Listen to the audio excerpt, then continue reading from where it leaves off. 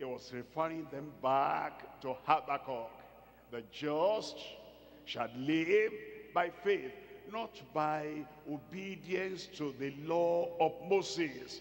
And then we're told, Hebrews chapter 10, reading from verse 38, Hebrews 10, verse 38. Now the just shall live by faith. Still the same.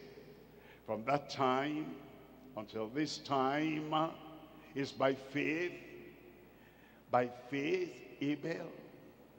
By faith, Enoch. By faith, Noah. By faith, Abraham. By faith, Sarah. By faith, Isaac. By faith, Jacob. By faith, Joseph. By faith, the parents of Moses.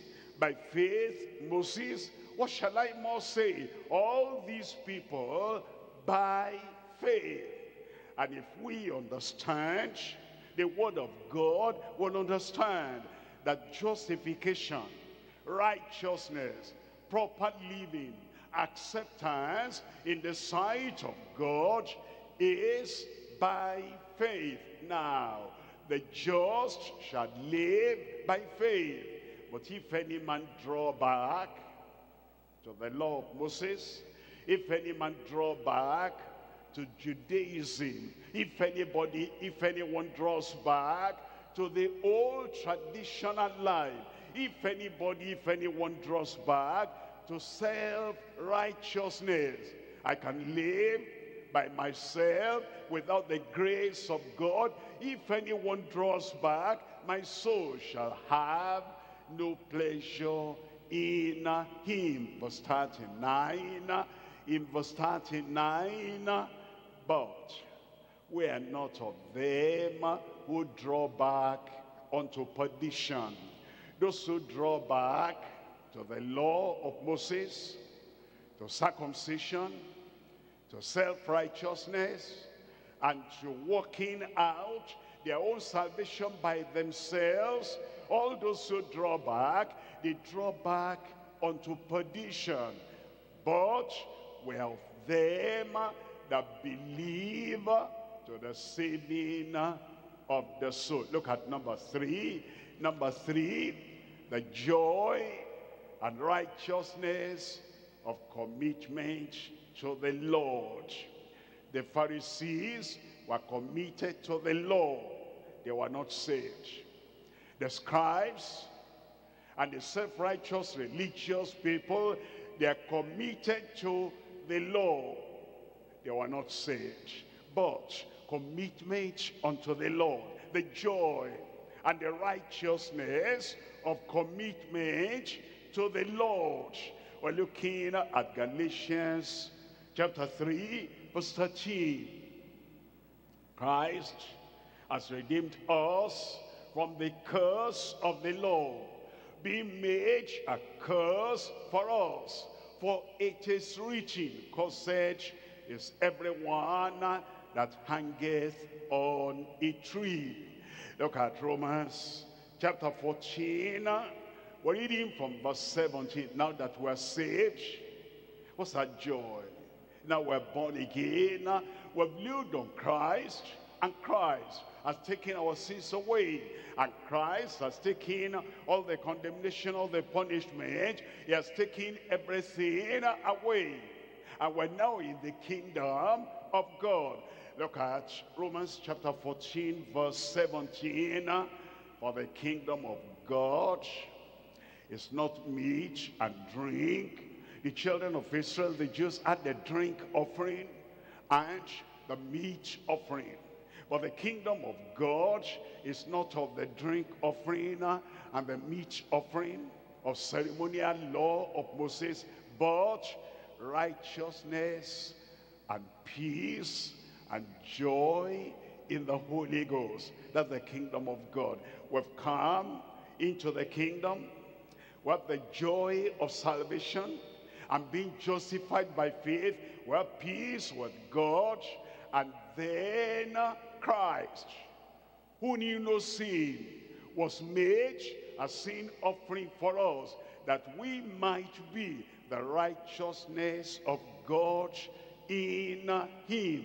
And so we have joy, we have peace, we have righteousness. For the kingdom of God is not meat and drink, but righteousness and peace and joy in the Holy Ghost. Luke chapter 10, verse 20. Notwithstanding, in this rejoice not, that the spirits are subject unto you, but rather rejoice because your names are written in heaven. When you are born again, God enters your name into the register of heaven. And you have the joy of your name written in heaven. Romans chapter 5, verse 1. Therefore, being justified by faith, we have peace with God. We were at enmity against God. He was for righteousness and holiness. We were by nature, by character, by habit, by practice, we were sinners. And the Holy One will not be in agreement with the sinful man. God was righteous and holy and perfect through and through in his mind, in his spirit, in his heart, it is action, it is word, in his character, holy through and through. Man, on the other hand, sinful, depraved, wicked, on the inside, outside, in action, in act, in utterance, in habit, in character. So, because of the diverse natures of God and the sinner, there was no peace between God and man. But now, Christ, the mediator, Christ, the Messiah, he came, laid hands on us, and took the hand of God and reconciled us. And because of him, we're forgiven, we're justified. Therefore, being justified by faith, not by our works, being justified by faith, we have peace with God through our Lord Jesus Christ. Verse 2. In verse 2, by whom also we have access by faith into this grace wherein we stand and rejoice in hope of the glory of God. Verse 11, in verse 11, and not only so, but we also joy in God through our Lord Jesus Christ, by whom we have received the atonement. We come to point number three. Point number three, release from the curse for the lawless. We're released from the curse for the lawless. We're looking at Galatians chapter 3 verse 13. Christ has redeemed us. Christ has already redeemed us. It is not that it's going to happen in the future. It has happened already by his atonement on the cross, by his sacrifice on the cross. What message, what revelation that Christ already has redeemed us from the curse of the law. We didn't have people telling us at the point of salvation, already redeemed from the curse of the law and from the curse of man, from the curse on earth, and from the curse throughout eternity. That's why some believers in quotes, they are still afraid of a particular curse. They're still running here and there. They want to be free from the curse. But if you knew the truth, if you accepted the truth, if you lived by the truth, you will know that Christ has already redeemed us, us believers, us the justified, us the children of God, us who have their names written in the book of life. Christ has redeemed us from the curse of the law, being made a curse for us. For it is written, cursed is everyone that hangeth on a tree. Three things we're looking at. Number one, the substitute who bore all our curse. Number two, the salvation that banished the old curse. Number three, the stage of being blessed without any other curse. Number one. Number one, the substitute, that's Christ, who bore all our curse. Already we've read that in Galatians chapter 3, verse 13. He, Christ, Savior, final sacrifice, the substitute, he bore all our curse. Isaiah chapter 53, reading from verse 4, surely he has borne our grief and carried our sorrows. Yet we did esteem him stricken, smitten of God and afflicted. The, strict, the strike, the smiting, the affliction that should have been upon us, Christ has carried that. Verse 5, surely. But he was wounded for our transgression. He was bruised for iniquities. The chastisement of our peace was upon him. And with the stripes, and with the stripes, personal, and with the stripes, we're healed. Look at verse 6. In verse 6, all we like sheep have gone astray. We have turned everyone to his own way. And the Lord has laid on him. And the Lord has laid on him.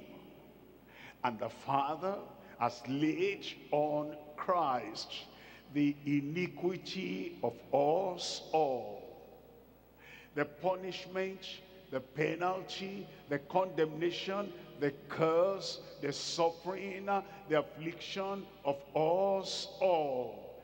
Everything laid on him. Second Corinthians chapter 5 verse 21. For he has made him to be sin for us. That is to be the sin offering for us. He took our place. He knew no sin that we might be made, we might be recreated and refashioned and remodeled the righteousness of God in him. Titus chapter 2 verse 14 who gave himself for us. That's a substitute. That's the final sacrifice. He gave himself for us. For you for me for us. For the Jew for the Gentile for us. For the white for the black for the brown for the yellow for us. For the man for the woman for us.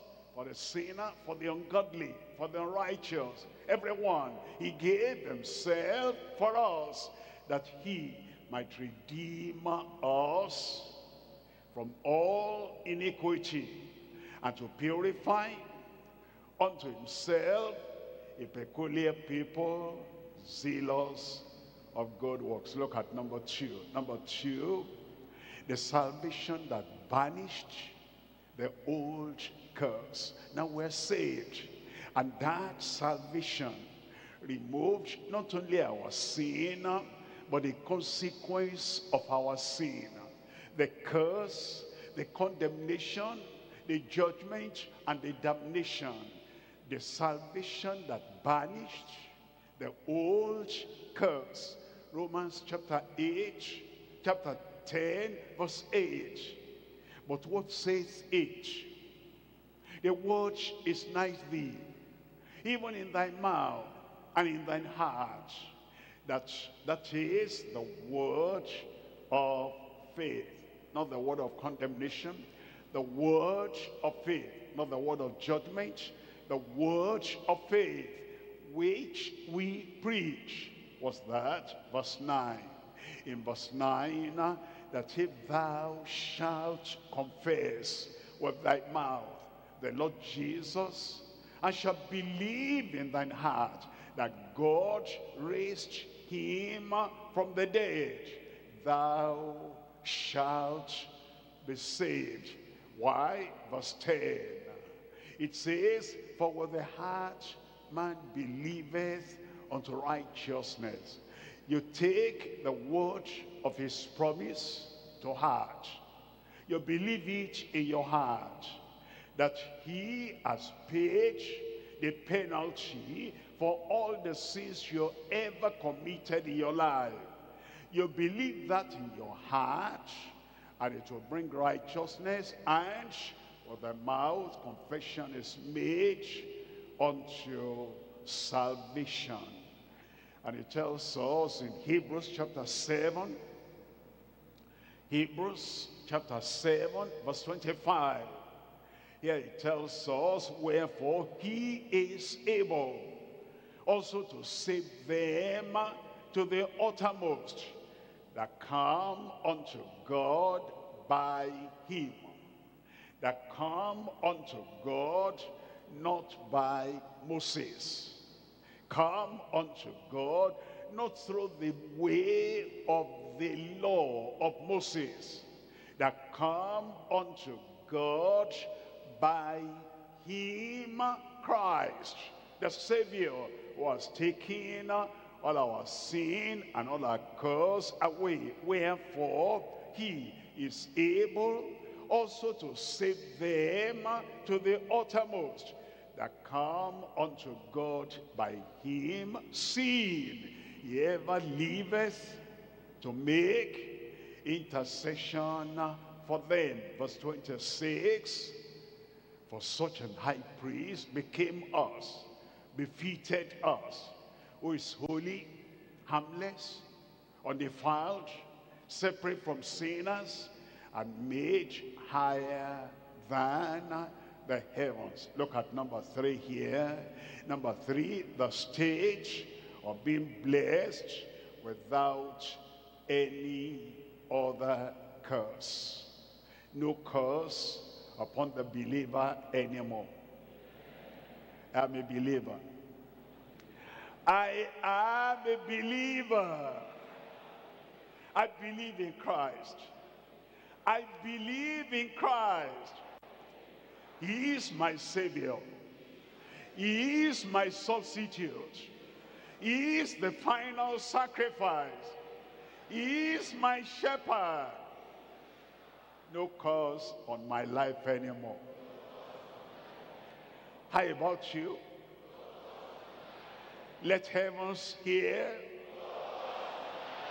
Let